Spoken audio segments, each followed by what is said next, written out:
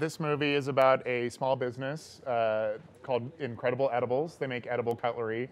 They're kind of one of these new uh, kind of faux green businesses, and uh, it's run by Demi Moore, who's their uh, domineering, uh, well-meaning in some ways, but maybe not so great in execution uh, boss. And the business isn't going well, so they decide to take him on a team building retreat, and things go terribly from that point on. It's a big ensemble piece. Like there's a lot of really amazing uh, characters, and we all sort of are in this pressure cooker, and we figure out, you know, what we what we need to do to survive. Yeah. And it's like you're, you're, you're, you know, like everyone's true colors come out. The Right. facades all drop, and everyone's, you know, kind of base survival um, instincts come in, Yeah. come out.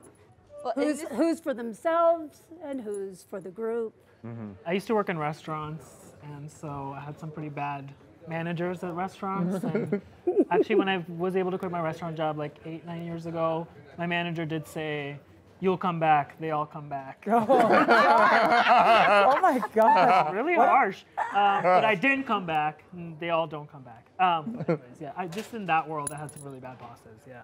What a villain. Yeah, I know. Uh, yeah, I, I used to work at the mall. Uh, and, uh, it, it, it, you know, I'm, I'm happy for being able to have that job. You know, bless anybody who works at the mall. But I had some real uh, jabronis that I had to work for, and um, you know, it was it was something. if there was one bad apple in the bunch, it would have ruined everything because it was literally 10 actors on set every day in every scene.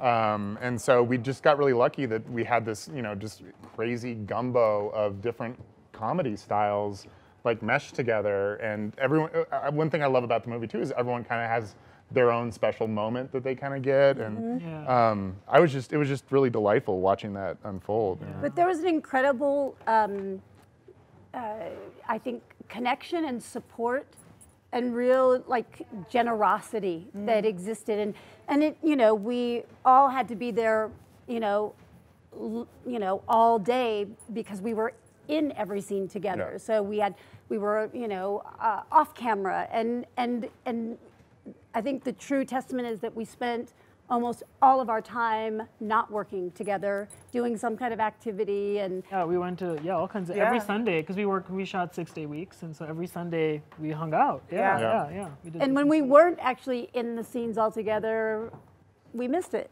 yeah. Yeah.